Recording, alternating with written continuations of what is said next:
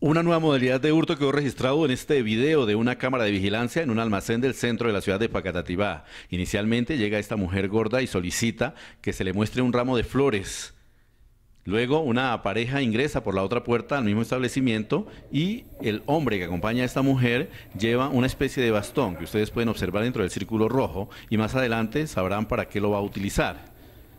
Esta pareja le solicita a la dueña del establecimiento que le muestre un oso de peluche y la mujer se dirige a mostrarlo, mientras que la gorda queda a la espera de que se le atienda y se le muestre otro ramo de flores. La propietaria del almacén saca el oso de peluche y se lo entrega a la pareja y en ese preciso momento la gorda hace una señal para que se le muestre otro ramo de flores que está en el estante.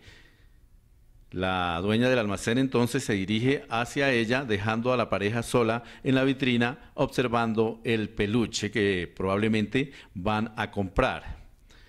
La cámara de la parte superior nos mostrará en este momento cómo la pareja que está con el oso de peluche aprovechan que la gorda está distrayendo la atención de la propietaria del almacén y el hombre entonces cubierto por la mujer que mira el peluche, saca lo que parecía ser un bastón y que no es otra cosa que una mano mecánica, la alarga por encima de la vitrina y extrae del otro lado un teléfono celular y lo guarda rápidamente en su morral. Ahí va a actuar, ahí está operando la mano mecánica, que es como una especie de bastón, logra coger el teléfono en este momento, lo trae, lo jala y lo echa al morral.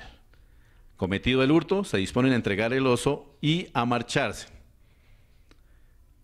Eso sucedió el pasado martes. Ahí pueden ustedes observar dentro del círculo rojo la especie de mano mecánica con la que están cometiendo los hurtos ahora estos delincuentes que todos los martes llegan a la ciudad de Pacatativá aprovechando que es día de mercado. Ahora la gorda no está interesada ya en el ramo y se marcha del establecimiento y ya han consumado el delito.